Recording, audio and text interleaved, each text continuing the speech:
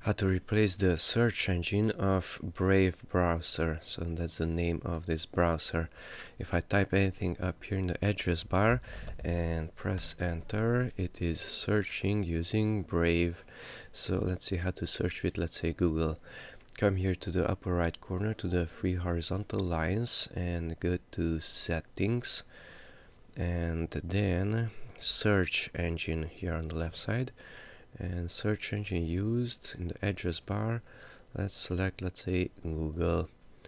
And just close this window. And now if you type something there in the address bar and press enter now it's searching using Google